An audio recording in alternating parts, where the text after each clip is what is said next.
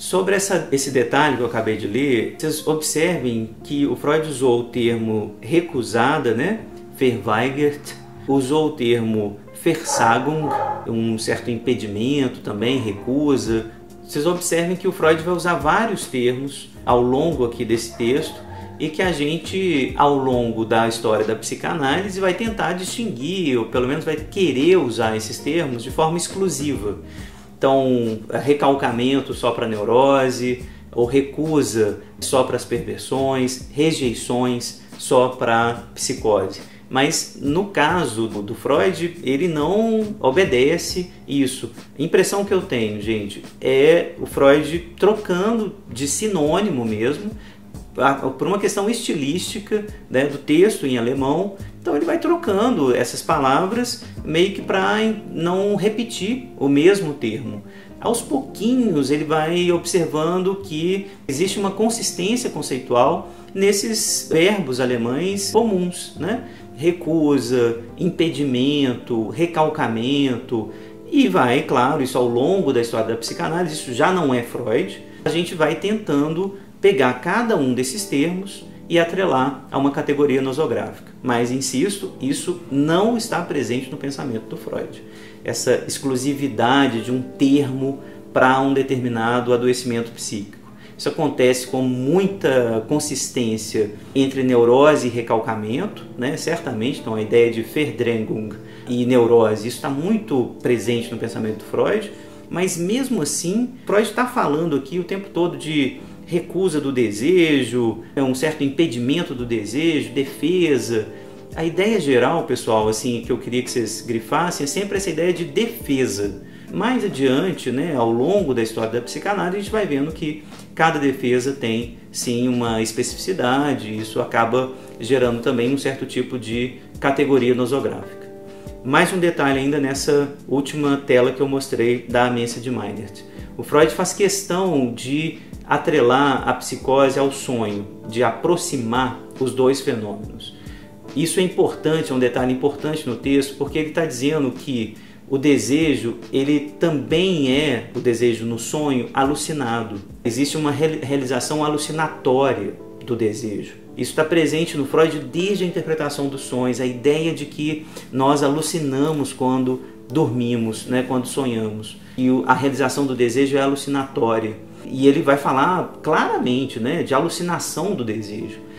Então, somos todos psicóticos enquanto sonhamos, né? O sonho é um certo, uma certa reserva psicótica em todos nós. É uma possibilidade de leitura, mas o que eu acho que o Freud está dizendo é esse mecanismo do aparelho se fechar e realizar o desejo dentro dele, e aí tudo pode ser qualquer coisa, né? A gente pode transformar qualquer objeto em qualquer outro objeto, juntar objetos. A gente não obedece a nenhum tipo de código, né? parece não obedecer a nenhum tipo de código social, regra social, tudo vale, tudo pode. Esse mundo interno dentro do aparelho psíquico, esse mundo interno é tipicamente o um mundo psicótico, é tipicamente o um mundo fechado em si mesmo então, o que o Freud está querendo apontar é, talvez, no sonho, exista a possibilidade da gente entender algo da psicose. É como se, quando a gente sonha, a gente se aproxima desse estado. Essa me parece a metodologia também é, presente no Freud como um todo.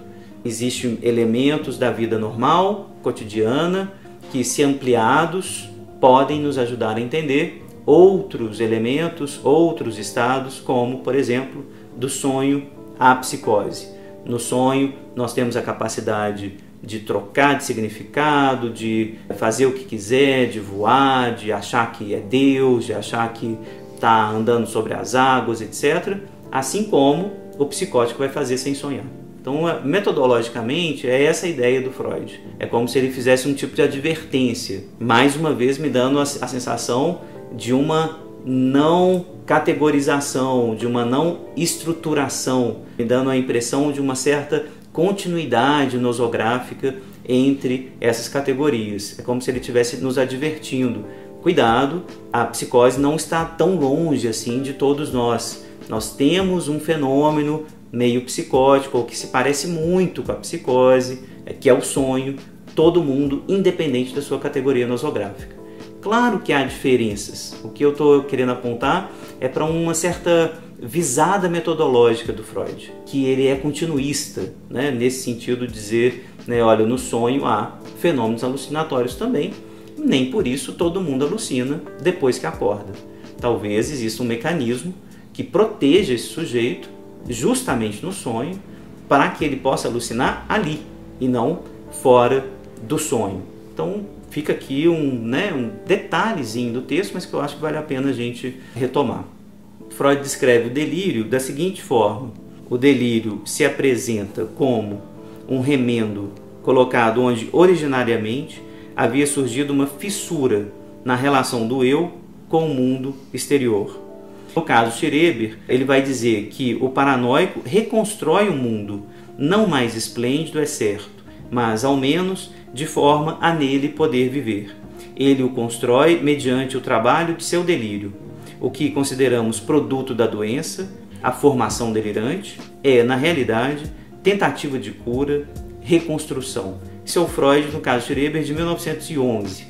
O que o Freud está apontando aqui como delírio que é uma tentativa de cura, tentativa de uma cicatriz, um remendo, é, na minha opinião, pela primeira vez, um certo reconhecimento da positividade do delírio.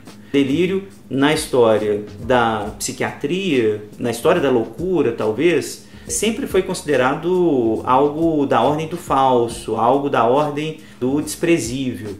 Né? O Freud, nesses textos, aqui em 24, antes disso, mesmo lá em Schreber, em 1911, ele já estava apontando para a positividade do delírio, ou seja, o delírio serve à cura do paciente, é uma tentativa dele remendar algo que fissurou, que quebrou entre a relação entre o eu e a realidade.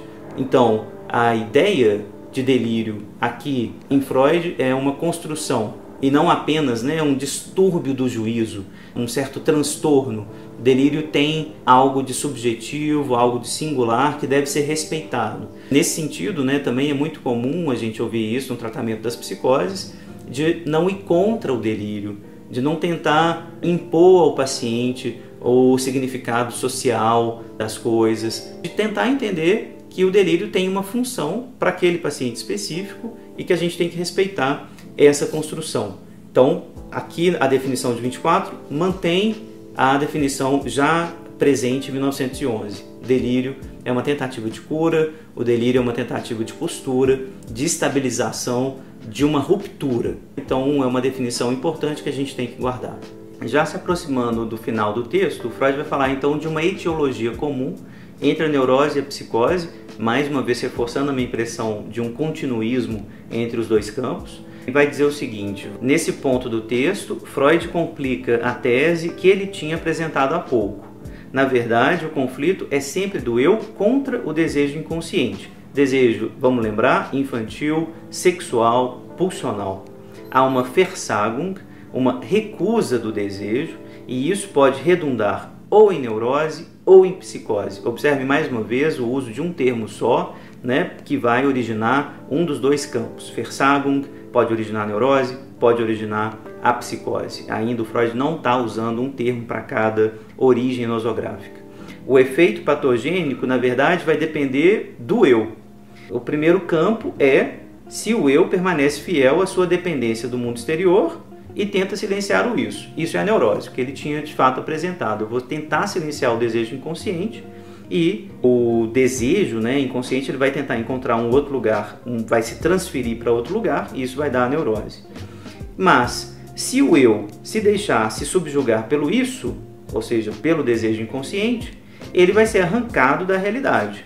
Freud vai inclusive dizer, daqui a um detalhe rapidinho que eu quero comentar, que esses desejos indomáveis da infância, eles estão enraizados inclusive na organ nossa organização filogenética. Então Freud ainda está pensando aqui, né? O Freud tinha começado a propor isso em 1923, está começando ainda a pensar no isso como um reservatório desses desejos inconscientes filogeneticamente herdados. Então é só para deixar claro aqui a potência que o Freud quer atribuir ao isso.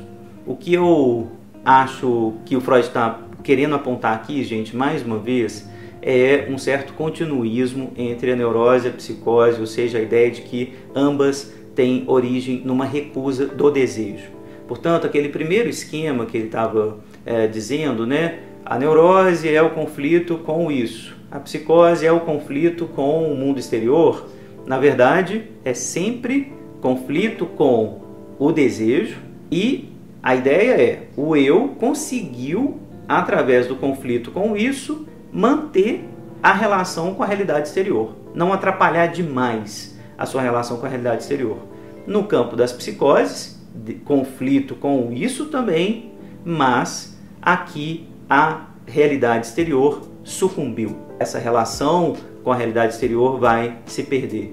Então, aquele primeiro esquema, na verdade, é um pouco enganoso. Não, a grande questão não é um conflito direto com a realidade, nunca é um conflito direto com a realidade.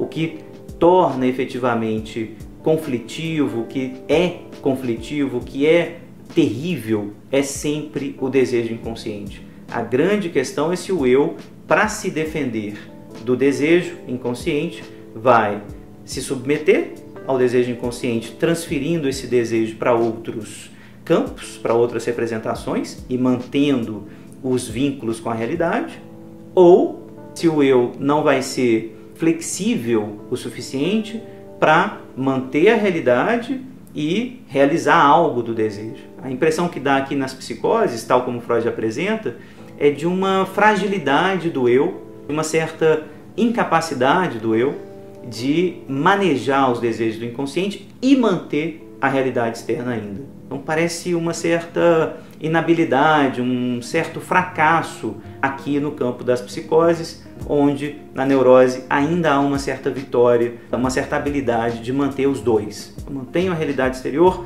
e mantenho algo do desejo inconsciente, eu fico nessa posição mais flexível. Na psicose não.